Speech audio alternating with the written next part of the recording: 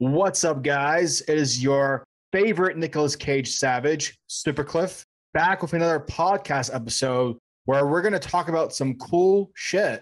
And my guest today is Chris, also known as Speedy, also known as Turtle at times.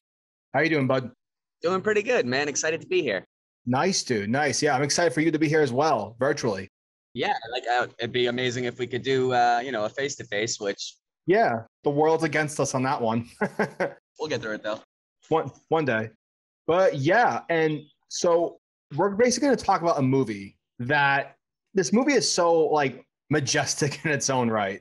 This thing, this event has never happened before. And so I guess we're just going to get right into it. We're going to talk about the Justice League Zack Snyder edition, uh, Z- Zack Snyder's Justice League, which has a runtime of four hours and two minutes and a four by three aspect ratio with the soundtrack done by uh what's his name? Junkie Thomas- xl but his real name um thomas Holkenborg is junkie xl's real name. And let's just talk about like um what the snyder cut is like real quick like a real catch up phase and like how did we get here? What's going on? So chris do you want to maybe take us through this? I mean, realistically, it was the fans. It, was the fans and what we wanted. You- like the best thing, the best way to put it. It's like we asked and we got, and like you said, it's never been seen in Hollywood history. It's a, it's just a phenomenon that happened, and like we're hoping for more out of it. Obviously, yeah I mean, the best way to say that we got to it. because the studio was nervous due to Batman vs Superman not maybe performing as well in the box office, they were like, "Oh shit, let's try something else." And they used, unfortunately, they used the the death of um, Zack Snyder's family member to kind of use that to, the, to their incentive to bring in Joss Whedon and essentially just kind of rework the whole Justice League movie to make it more like Marvel. And the problem with that is you can't do that when you're writing a story. You can't just change it halfway through. You got to kind of go all through it. Um, It's all about being consistent. yeah, you, you can't you can't take something like Zack Snyder's Justice League and mold it into something else. Like you, you can't do that with really anything. But yeah, that, that Justice League that Justice League movie came out in 2017 and no one liked it. it was a piece of shit. Gonna be honest. Well, I- yeah, you could say that. I, I but I, I, as I'm a huge DC fan, as you know. Yeah, Like, I, yeah. And some of my favorite superheroes that I got to read on pages as, as a child were coming to life. I took it for the, from that aspect, and I honestly can't say I didn't like it in that for that uh, you know appeal. It was. Uh, you know, uh, somebody's vision taken and stripped of what it originally was, and you know, presented in a corporate fashion, let's say, you know, like Yeah. basically the, yeah, the studio had most of it, and then they gave creative direction to somebody who didn't have the same vision. So it- it was just, I, I don't like to use the term hack job, but unfortunately, it kind of was. and that's completely fine. I, I think it I think it 100% is that. I think it's definitely a neutered version of what we just got. Oh, it, Um, it was it, it was basically like uh, you know here deal with it you know screw if you don't like it but we made a big enough stink and I honestly I know this is like maybe bad advice but I think we should take a hint from that and anytime we have a serious problem Yep. just Radio. just yell really loud. yep Maybe take our pants off at the same time, see what happens. Um, so yeah, basically this Snyder cut. I, I don't even know if you would consider it a director's cut. I really, it's really just a new movie. I'm going to consider it a new movie. Yeah, like the Justice League movie that we saw, the whole Steppenwolf thing. it- it's all the same. The results the same. It's just it's done so much better in this movie. And you know, let's just get right into like our quick thoughts on the movie, and then we'll get into like what was what was changed, what was different about it. You know, what stood out more. But yeah, I mean, what what are your quick thoughts? You know, regarding this Zack Snyder? So obviously the uh, first thing let's start off with is the runtime i personally as much as i love to see a, a movie like portrayed as long as it can go like lord of the rings did an amazing job with its length you know even avengers endgame was a long movie but you know they did a good job and i feel like this is where the injustice was done because it wasn't properly edited and that's where, where I think it makes it, you know, a director's cut of the movie. And I'm not saying this movie was prop was improperly edited. I just feel like if it, if they had originally allowed Zack Snyder to do his thing, it, we would have had a more complete, more fluid, shorter but still informative movie. What I find interesting about this this movie compared to like Man of Steel and Batman vs Superman, well, like for, for off the record, like let's just you know get this out of the way. I was never a fan of the Snyder DCU movies, whereas you were. Yeah, we, we had You- talked you- about that at work Yeah. because I believe Yeah. we worked together, you know, Yeah, shortly after both those movies were either coming out or released. or like the drama kind of like was hot at that time. And we would both have our different opinions, and clearly we would talk about it like gentlemen, not like savages. Of Um, course, yeah, we are now. yeah, duh, duh. but um, you know, I've never been a non-believer of, of the Snyder cut. Like I, there's always a cut of a movie that's never published into the theater.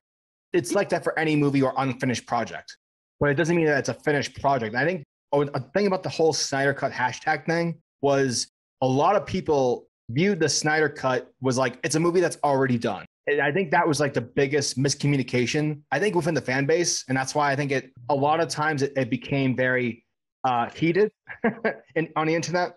I, I agree with that because Yeah. that's that like because a lot of people didn't realize that at, at the like uh, he left a half a movie unfortunately in a way he let like if you if you rewatch the movies like I I- I'm kind of ashamed but not ashamed to say that I've watched uh, the new Justice League at least five times That's completely fine.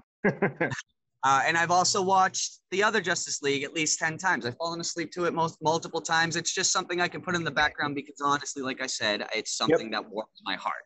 yeah, And no, that's all it gets from me for praise. I'm sorry. no one's gonna take that away from you. So anyway, to, to, to make a long story short here, um, he did what he had to do to finish an unfinished product. And that's the thing. It wasn't a finished product. Granted, there is what, about two hours plus more into the movie. They did add things that were already filmed for sure, which you can tell because Yep. continuity issues. Mhm. Um, but you could also see that there's a point where where the new director took over. yeah, Yeah. Period. and so I guess like you know with the little backstory of like what the Snyder cut is and the media surrounding it, let's you know let's just get right you know let's get right into it with the prologue, I guess. And it's like a nine minute prologue, I, I assume, where it's just Superman screaming. Uh, by the way, there's gonna be a lot of spoilers in this episode, guys. So if anyone who's watching this and you haven't seen it yet, spoilers. Uh, Yeah. Dave, you're ahead.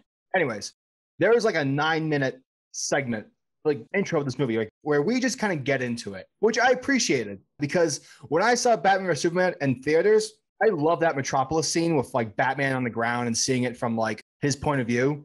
Mhm. But my only problem with that beginning of that movie was when we see the death of the Waynes once more and Mhm. he gets like lifted into the sky by the bats. I thought that was like weird. And luckily we don't have an intro like that. Like we just kind of get into it. It's just Superman It stabs. literally picks up from the best point to pick up from. Yeah. Li- literally, and because it makes sense. Like the the after credit scene, I believe it was, or the ending of Batman versus Superman, where Luthor's in jail and he tells him a bell can't be unrung. He wasn't talking about the mother boxes dinging. Wasn't talking anything about that like fans had speculated. He was talking about the fact that Superman's scream was so loud it was heard across the universe, and, and that was such a moving scene for me. Yeah. So we get that that screaming for 10 minutes. And I actually liked it because you're you're getting different parts of the DC universe through that one scene. Like you're traveling with Themyscira, where it wakes up the mother box. You're, you're touching the mother box with Cyborg, touching the mother box in Atlantis. It's you're getting all these scenes, and it's really kind of connecting the DC universe with that one screen, which I thought was kind of really cool. and, and again, it brings us back to the bells have been rung thing. Yeah. Like now, now there's the reason to unite the seven. Now this movie's original tagline, with people seeing the Snyder cut, can understand what that out originally meant. Yep. But we'll get into more of that later because I have a few things to talk about when we get to it. But Yeah, yeah.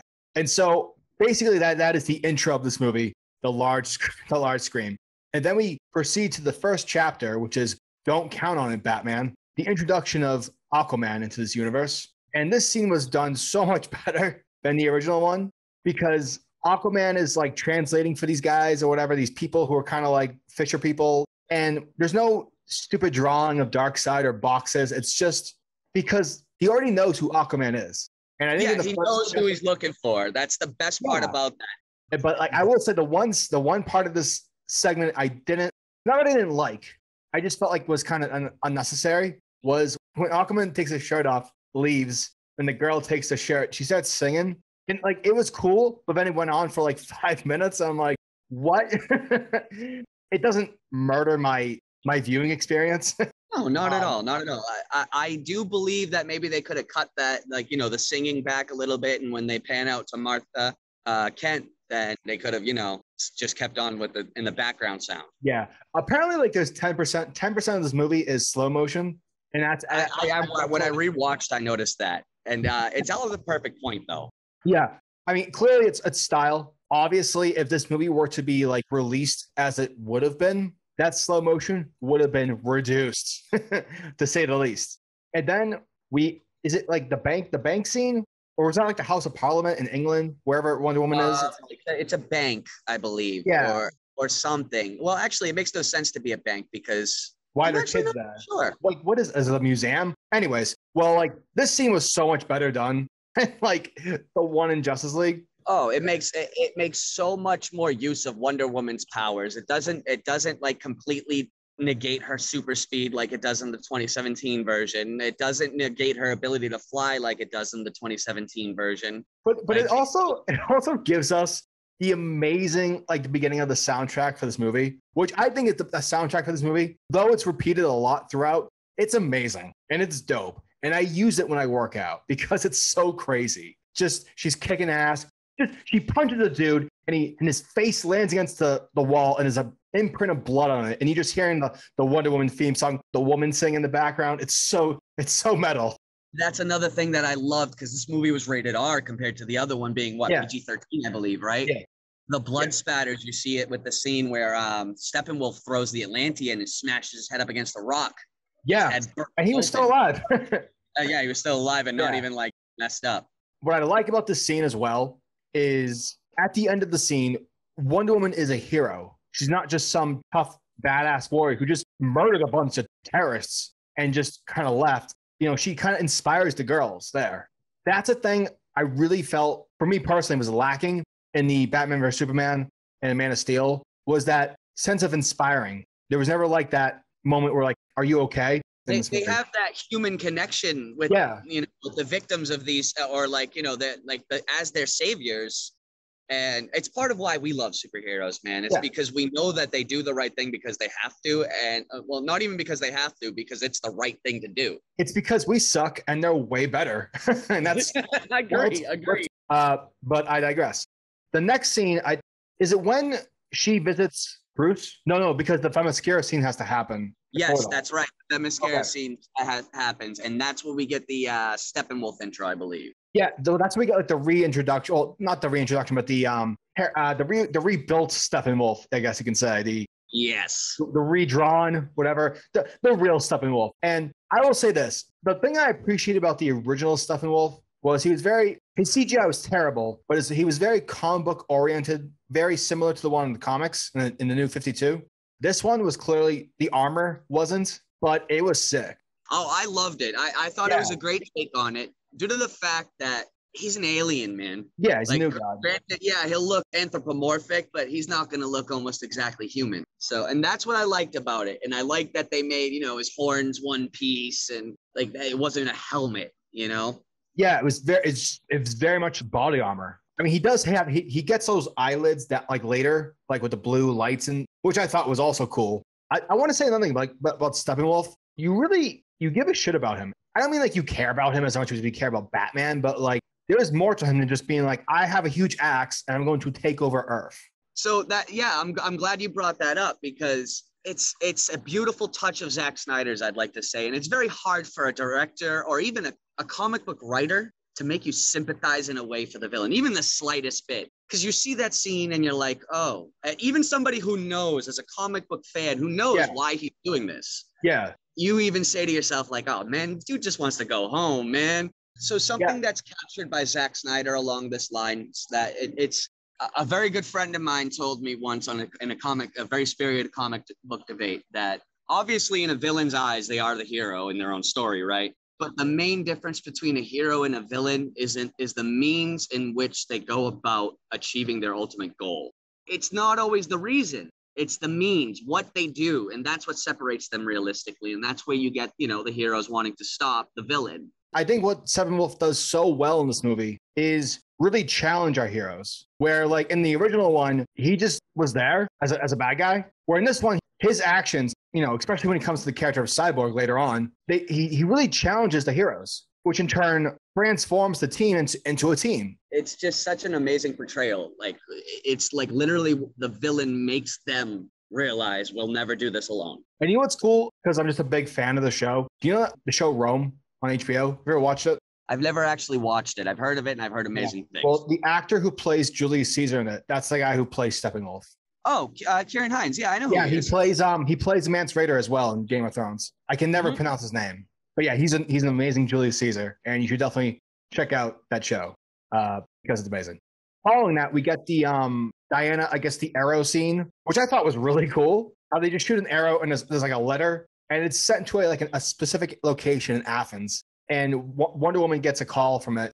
Wonder Woman gets there, and this is where we kind of where she learns about Darkseid underneath that ruined temple or something. You know, when Wonder Woman visits Bruce Wayne, telling him that like, oh, people already here invading. He didn't get Darkseid. Just to clarify, yeah, yeah, Obsess, uh, or however you pronounce it, because he hasn't gained the Omega Sanction yet. So, but. Yeah you see this world conquering army. It's the same, like I like to say, with Thanos and you see this literally world conquering army which is a very very very very tough opponent to deal with. And you then you not only yeah. see that but you see what you see what thanos. He's heading his own army. And that shows his bravado. It, it, it was amazing. And as like my two favorite superheroes being green lantern and um, flash not in that order. It's flash green lantern but anyway um, seeing one of the first earth green lanterns his death was just absolutely amazing does that Green Lantern have a name? Is that like an actual uh, Green Lantern? Ulan, Ulan something, but um, I, I, can't exactly remember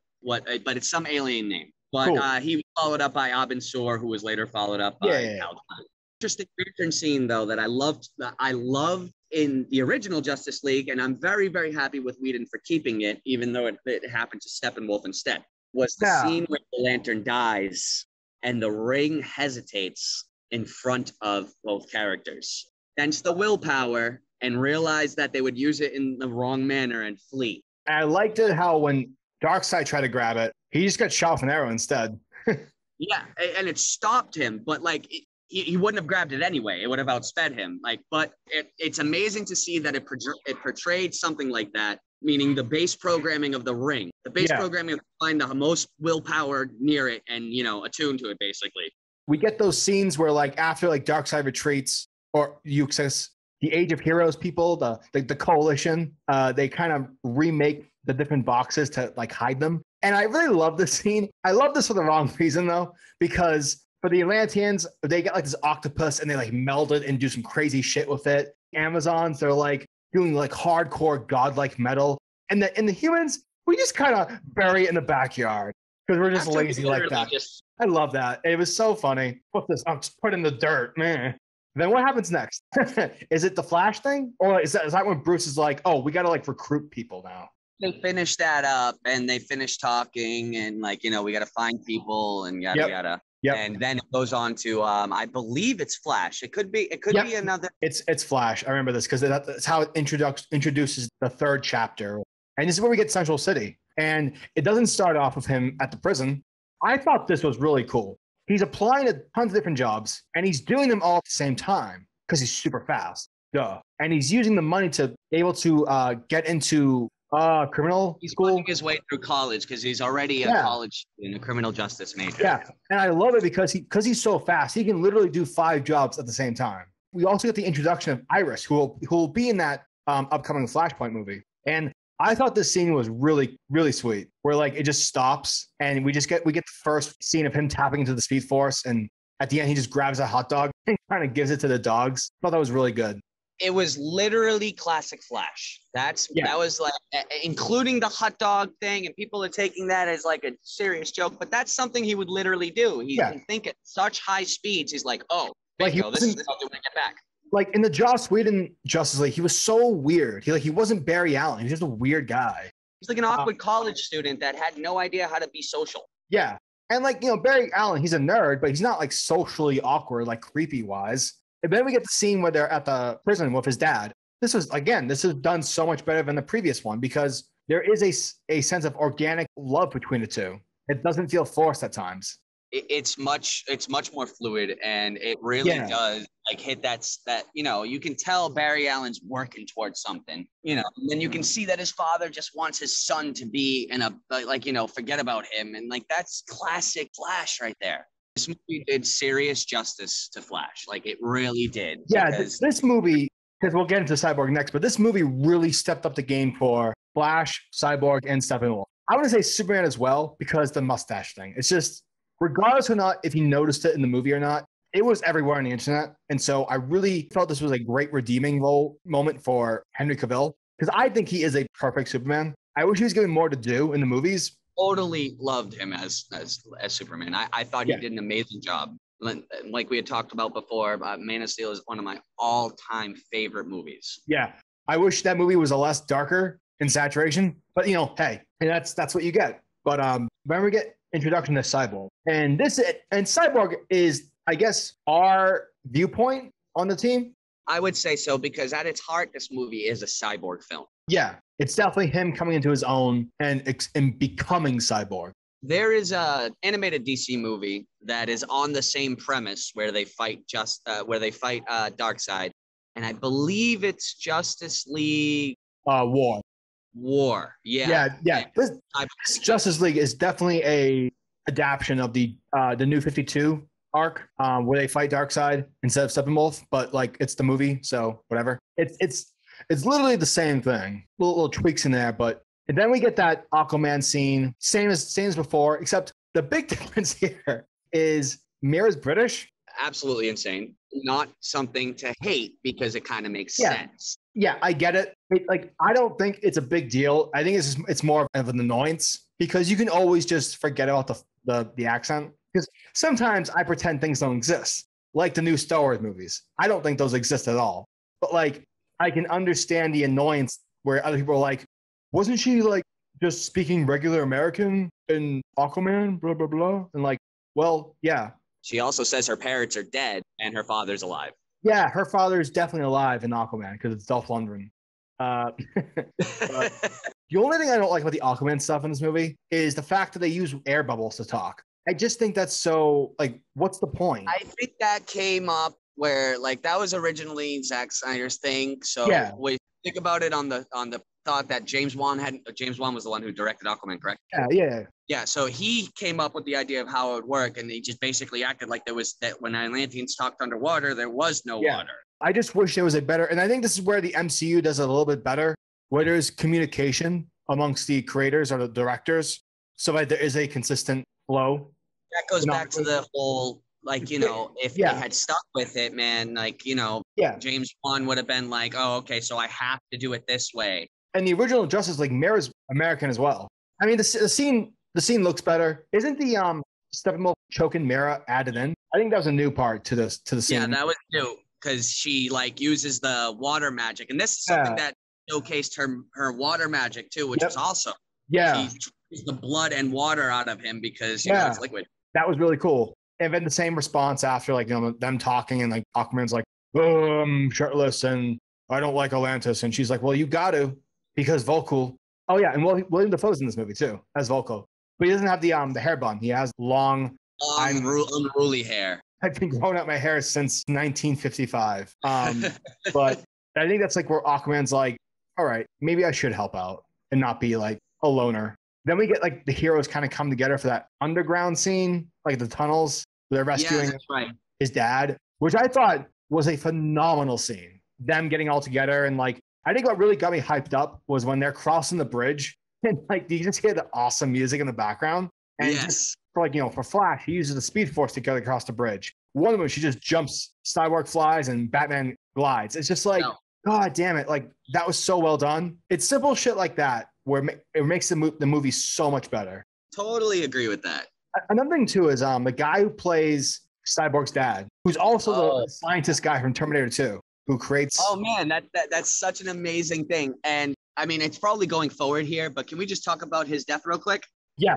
Um, so he goes into the uh, the electron laser room and he sets it off and he presses a button and disintegrates. An homage to his death in Terminator. Right. Yeah, because he got shot in the chest. Now remind me again, like why was it that he had to sacrifice himself? Like what So earlier in the movie, uh, Choi and um, when you Oh, yeah, first Adam. meet Atom, Ryan Choi, Yep. and Silas Stone is talking to him. They're talking about using the the, the electron laser to superheat a metal, and Yep. it becomes the hottest thing on the planet. Gotcha. So he shoots the mother box to superheat it and make it the hottest thing on the planet so that they can track it. He sacrifices himself to basically create a, a homing beacon. Got you. Gotcha. Okay. That the actor in for that role did a really good job on selling the father. Like the whole dynamic between him and Cyborg. Like I gave a shit. It was really cool seeing. Yeah, yeah, you could see the investment in their characters. Yeah. there. And then I think it's after the scene where they where they kind of find out Cyborg has a mother box. Like like they find out more about him, I guess, like how he was built. And then they realize, oh shit, we can just bring back Superman. And I think Yeah, that's the scene where before they get into like the flying fox and Cyborg talks to it. Yeah. And I think that reveal when they were like hologram of Superman flying was so cool. When they're all thinking the same thing. I love how they brought Superman back and the, the, the way they did the fight scene afterwards. Like, I also appreciate how Lois is involved in this movie because in the Justice League movie, Batman calls her to bring back Clark or like to calm him down. Whereas this, she's already there because she's been visiting his memorial site every day. Yeah, and they put that in the movie, and that's super awesome. He's on Jimmy Olsen in the old Superman movie. That's right. Yep. I forget his name, but that's the guy. But that scene was really done because you know that's where he, you know, uh, Silas Stone dies, and I just, I just think that whole scene with Clark coming back to life and like Cyborg reacting the way that he did was so much better and much better understood because we get, we get a sense like why Cyborg's um suit was kind of malfunctioning or whatever. Yeah, so then you realize because in the original it was like, okay, why is why is Cyborg perceiving him as a threat? And it's Yeah. only you only get that notion because when Cyborg and Steppenwolf meet, he tells him, "Oh, ah, you were born of her," which was terrible. Yeah. And you're like, what does that mean? but yeah, in this movie, they definitely explain a lot of those parts. Superman gets brought back to life. He goes back to Smallville, you know, with Lois, and they're remembering stuff. And it's really well done. And I like the music that's playing in the background, the, the Man of Steel music, which I think is phenomenal. I think the Man of Steel soundtrack is really good. Oh, it was Um, great.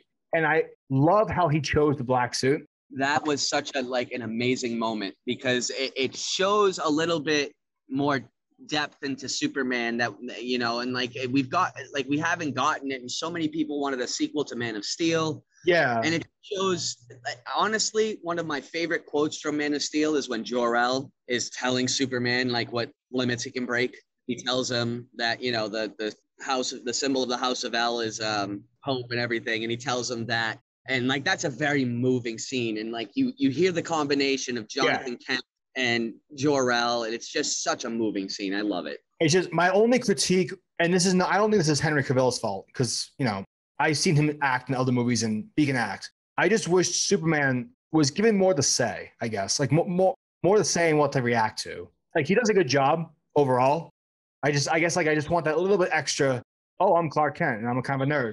And I agree. It would have been great to have a little bit more super, more, uh, Superman dialogue Yeah. because You know, Superman. Justice League man, it's Superman too. Yeah. You know, you got you got to put some like something for him to say to someone. I mean, granted, yeah, it was some great sappy stuff with Lois Lane, but He stands stoically and he's like, "Oh, look at me, I'm I'm built as hell." But like, you know, Superman, he does talk. So I mean, you know, that's my only critique with that character. But yeah, and so then we get the Russian area, or is it Chernobyl? They, they, they never say it in the movie. They said it in they the. original one. say it, but it's the But same. It, it is. Chernobyl. We're just gonna say it's it's Chernobyl. It's Chernobyl because Yeah, let's say pick Chernobyl. Yeah, which I thought was a weird word choice to be like, oh, this is why we can camp here because it's toxic. but, but wait a minute. Think of it this way: toxic because toxic to humans, radiation-wise. Superman gets his ability from the sun's radiation. So what's to say that ap- apocalyptians wouldn't be able to resource something extremely volatile to us? Yeah. No, it makes sense. It's just I'm just kind of making fun of the way he said toxic. Oh, Um, yeah. And then we get the fight scene. The way this final fight scene is done is leagues, pun intended, better than the final fight scene in the last Justice League because they're actually like working together as a team. They've realized that it didn't really work the first time. So now they're like, all right, we got to do this together this time. And now they're like, all right, yeah, we got this. Screw Yep. you, man. And I will say this: like, I liked when Superman returned in the original Justice League. He's like, "Well, I know something about truth, and I also know a little bit something about justice." I also like this version too because he's just like he just like when Cyborg's about to get killed, he's there and he just blocks it on the shoulder because he's a he's fucking Kryptonian. Yeah, The Man of Steel. Right there, man. And this is where we get a really cool, I, I would say, culmination of Cyborg's character arc in this in this movie, where he finds out that he's not broken. Because when he enters the Unity, well, before before we get that, you know, I guess they end up losing, and so Flash decides to retrace time. Yep. And also- Flashpoint Paradox. Yeah, and we also get that really cool shot of Superman lying down on the ground with Darkseid, kind of like the devil on the shoulder, which I thought was a really cool shot. Yeah, so that Cyborg he he finally stops the Unity. They separate the boxes, and fucking Steppenwolf's like, no, and there's a portal that's leading to Apokolips, and all of a sudden Superman just punches Steppenwolf in the face. Uh, Aquaman stabs him. Woman just cuts off his head and sends him back to the dark side. And I just thought that was am- amazing. Because like we don't need Steppenwolf for the the second movie. He's boss round one. You know what I mean? We don't need this guy for future movies. They straight up said, here is your emissary. And then we get the closure of this movie. And, and instead of the Lois Lane narrating the ending, it's Silas Stone with the uh, recordings, much better worded and much more fluid. And then this is where we get to the what could have happened in the future of the DC Snyderverse was the, The epilogue. nightmare world. Yeah. Everything else was cool. Honestly, I really love the conversation between Batman and Joker. It's fucking weird, but I, I don't know why, but I love hearing Ben Affleck as Batman saying, I will fucking kill you. I just, I was It, like, it oh, was so amazing. I was like, Batman, just say the F word one more time. It was so, it was so awesome. Like, it sounds so stupid when someone tells you, "Hey, we're gonna we're gonna have Batman just say the F word because it's cool." You're like, "That's forceful," and then you actually see, it, you're like, "Actually, that's pretty dope." It's it, was great, and Yeah. I really love it. I I, think it's great one of those reaction. things. It's one of those things you have to experience. You can't really be told it beforehand. You have to like hear it, and you're like, "Oh shit!" Ooh. And then it's it's Batman just waking up from a dream, and there's Martian Manhunter, who's like, "Hey, I'm here too." But why didn't he help? And, and why are you going to cast that actor as Martian Manhunter? I've never liked that guy in any of his roles. He always plays the same motherfucker in every fucking movie. The general yeah, I agree with that. And honestly, man, I, I like. I don't dislike him. He did. He's doing a great job. He brings Yeah. some good I don't justice hate to it. guy. I don't, I don't wish him ill will, but like Martian Manhunter, ah, it's a stretch too far for your, you know, talent. Okay, you know what? Yeah, I would agree with that. I would have much rather see somebody like uh, Not like Will Smith, like I don't know. who was the like- guy that played the original War Machine? Uh, Colonel Rhodes, Oh, uh, Terrence Howard. Terrence Howard. I wouldn't mind him. He would have been great. You know who'd be really cool? The guy. He's he's a voice in Destiny. He's also in the in the Wire. He plays a he plays a cop all the time. Black dude. What's his name? He's in John Wick. He's the um ah he's the guy. You've seen John Wick, right? Yeah, yeah, I've seen all of them. The guy in the Uh, hotel. Talking about Laurence Fishburne, are you? no, no, no. The guy who welcomes John Wick into the hotel. Um, oh, the guy who plays Carone. yeah, yeah. He would be a fantastic Martian Manhunter. I I, mean, agree with One hundred percent. Have him be Martian Manhunter. Don't have this generic actor. No offense. Play the same guy in every movie or show he's in as Martian Manhunter. Now, besides that, the design for Martian Manhunter, I don't like. I, I definitely liked it. Yeah. I also liked the fact that there was two cameos of it.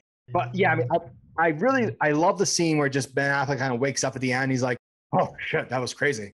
I can't tell if that's real or not. He's Yeah, dude. I love his reactions. I want him to have like a Nicolas Cage reaction next time he kind of wakes up from a dream, if he ever has I don't know, I don't know, a role in these movies again. Because like you never know, you never know with superhero movies. Anything can happen. Agreed. That's that's a very true statement. I mean, we're watching a movie that technically didn't exist, and now it does. And and I would say that would be the the Snyder cut. That's what works. And for me, I, I'd give this movie an A minus A because I've only seen it once and some re, uh, rewinds here and there. But I do plan on watching it again and again because it is it is really good. You know, obviously, if you're not a fan of the the four hour time length, I get that. Just take a break in between, but it is really good. Um, it is. And I think it flows a lot better than Man of Steel and Batman or Superman. Yeah, I would agree with that. Um, Yeah. Definitely. Its runtime uh, definitely is a little bit too much, though. I, I, I, that's like my literal one complaint about this movie. But yeah, that was that was our discussion for the Snyder cut. And yeah, it's it's amazing. It's really a moment in cinema right now, I think. And if you're watching this and you haven't seen it yet, I, and uh, maybe this will be the tipping point to make you watch it, I wholeheartedly agree with your decision on that. Do exactly. Exactly. Definitely, definitely check it out. Don't because I, I went in this movie without any expectations. I wasn't I knew it was not going to be worse than the than the, the Joss Whedon thing, but I was predicting it to be a little bit choppy and messy as the as the original cut of Batman vs Superman, and I was wrong. I was pleasantly wrong. Yeah, you guys should definitely check this movie out because it's fun. Yeah, uh, Chris, do you have any um, final thoughts before we depart? Um, watch the movie, man. Yeah. Also, Watch work movie. work out to the soundtrack because it's dope. Yeah, Uh, listen to the soundtrack. All right, guys. Well, Amazing. thank you, Chris, for joining me in this epic. And thank you guys for watching. And if you like this, click that like and subscribe button. Follow me on Facebook, Twitter, Instagram. Leave a comment, leave a smiley face. Do whatever you got to do. See you guys next time. Thanks for having me, man.